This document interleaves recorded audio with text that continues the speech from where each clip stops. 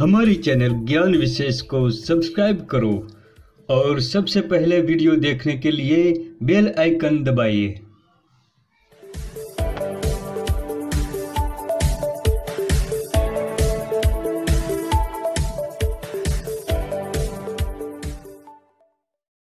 नमस्कार दोस्तों, ज्ञान विशेष चैनल में आप सभी दोस्तों का बहुत बहुत स्वागत है। दोस्तों, प्रकृति के खजाने में से आज मैं आपको एक बहुत ही खूबसूरत फूलों वाले पेड़ के बारे में बता रहा हूँ। ये जो आप वीडियो में सुंदर फूलों वाला वृक्ष देख रहे हैं, ये पलास का वृक्ष है। जी हाँ दोस्तों, इसे पूरे भारतवर्ष में पलास टेसो आदि नामों से जाना जाता है। वसंत ऋतु का आगमन होते ही पलास का वृक्ष फूलों से लद जाता है। ये आपको बहुत दूर से ही आसानी से दिख जाता है। तो दोस्तों, आज की वीडियो में हम पलास के वृक्ष के बारे में ही आपको बताएँगे, इसकी पूरी जानकारी देंगे। तो दोस्तों, पहचान लीजिए, इस प्रकार का होता है पलास का वृक्ष। पलास पूरे भारतवर्ष में पाए जाने वाला एक मध्यम आकार का वृक्ष है। दोस्तों, अगर आपको इस प्रकार की पेड़ पौधों की जानकारी में इंटरेस्ट है तो अभी हमारे चैनल को सब्सक्राइब करें। साथ में बेल घंटा दबाइए और ऑल नोटिफिकेशन पर क्लिक करें, क्योंकि इस प्रकार की वीडियो हमारे चैनल पर आती ही रहती है। पलास का वृक्ष टेढ़ा मेढ़ा होता है और पूरे भारतवर्ष में आपको देखने को मिल जाएगा। भारत में प्राचीन काल से ही पलास को एक दिव्य औषधि माना गया है। पलास अनेक प्रकार की बीमारियों को जड़ से खत्म कर देता है। ये आँखों की रोशनी बढ़ाता है, नामर्दी को दूर करता है और अर्श तथा बवासीर को खत्म करता है।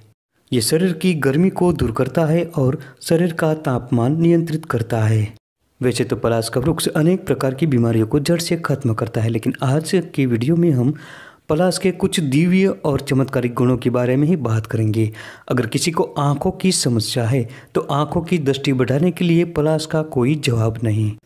पलाश को आम भाषा में टेसु, परास, ढाक और खाखरा भी कहा जाता है। इसका अंग्रेज़ी नाम द फॉरेस्ट फ्लेम और वैज्ञानिक नाम ब्यूटिया मेनोस्पर्मा है। फूलों के रंग भेद से पलाश की तीन प्रजातियाँ पाई जाती है। इसमें सफ़ेद, पीला और लाल फूलों वाला पलाश जो आप देख रहे हैं, ये मुख्य है। लाल या केसरी रंग वाले फूलों का पलाश आपको सहजता से पूरे भारतवर्ष में देखने को मिल जाएगा। इसमें जो सफ़ेद फूलों वाला पलाश है, ये बहुत ही दुर्लभ है। ये आपको घने जंगलों में और ईश्वर कृपा से ही प्राप्त होता है। दोस्तों, पलाश के दिव्य गुणों की हम बात करें तो ये आँखों की खोई हुई दृष्टि को लौटाता है। इससे आँखों की दृष्टि बढ़ती है और रतौंधी दूर होती है। रतौंधी आँखों का एक रोग है। इसमें रात में रोगी को दिखाई नहीं देता। लेकिन पलाश रतौंधी को जड़ से खत्म कर देता है और आँखों की रोशनी बढ़ाता है। इसके अतिरिक्त ये आँखों की दृष्टि बढ़ाने के साथ ही चश्मे को दूर करता है। आँखों की रोशनी बढ़ाने के लिए पलाश की जड़ का अर्क या रस अमृत के समान होता है। पलाश की जड़ों में से द्रवित होने वाला रस एक शीशी में भरकर रखे। रात में सोने से पहले आँखों में इस पलाश के रस की बूंदे दो दो आँख में रोज़ाना टपकाए।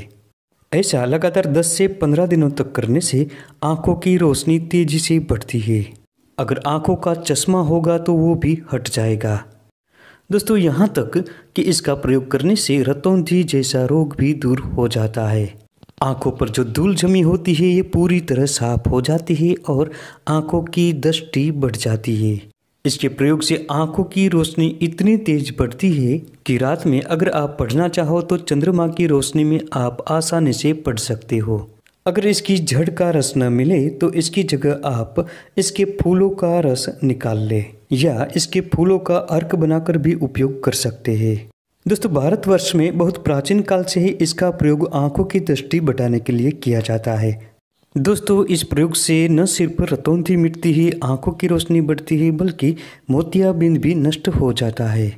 इसमें बेहतर है कि आप इसकी जड़ों का अर्क निकालकर प्रयोग करें। और इस प्रयोग करने से पहले इसे तीन से चार बार छान लेना चाहिए।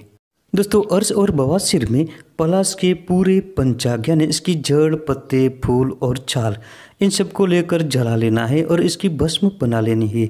इस भस्म को गुनगुने घी के साथ पीने से बवासीर में खून आना तुरंत बंद हो जाता है। इसके लिए शुद्ध देसी गाय का घी दो चम्मच गुनगुना लेना है और इसके साथ आधे चम्मच पलाश की भस्म लेनी है। इसके अतिरिक्त इसके ताजे पत्तों को घी में सौंक लगाकर दही की मलाई के साथ खाने से भी बवासीर नष्ट होता है। कभी कभी शरीर में गर्मी बढ़ जाने से दस्त हो जाता है। ऐसा होने पर एक ग्राम पलास की गोंद और थोड़ी मात्रा में दालचीनी दोनों को मिलाए और इसमें पैंसठ मिलीग्राम अफीम मिलाकर तुरंत पी जाए। इस प्रयोग के तुरंत बाद ही दस्त बंद हो जाएगा। पलास बेरंग जीवन में रंग भर देता है। खोई हुई काम शक्ति को लौटाता है। ये नामर्दी और नपुसंकता को मिटाकर मर्दानगी बढ़ाता है। इसके लिए पलास के मूलों का अर्क बना लेना है और दिन में दो बार सुबह शाम पाँच छः बूंदे इस अर्क का सेवन करने से दुर्बलता मिटती है और सभी प्रकार की बीमारियाँ नष्ट होती है। अगर बार बार स्वप्न दोष हो जाता है तो ये भी दूर हो जाएगा। इतनी बेहतरीन औषधि है पलाश।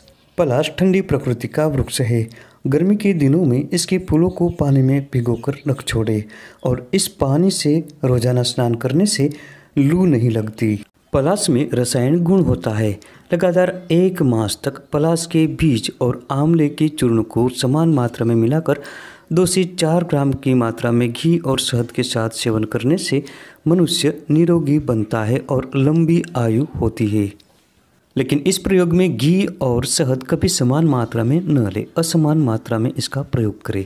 घी एक चम्मच तो शहद आधी मात्रा में इस प्रकार से इसका सेवन करना चाहिए। यही नहीं दोस्तों, ये त्वचा रोगों का भी निवारण करता है। इस पलाश के बीजों को नींबू के रस के साथ पीसकर लगाने से दाद और गिली खुजली का समन होता है, निवारण हो जाता है। तो दोस्तों, ये थी आज की महत्वपूर्ण जानकारी। वीडियो पसंद आने पर लाइक करें, शेयर करें और चैनल को सब्सक्राइब ज़रूर करें।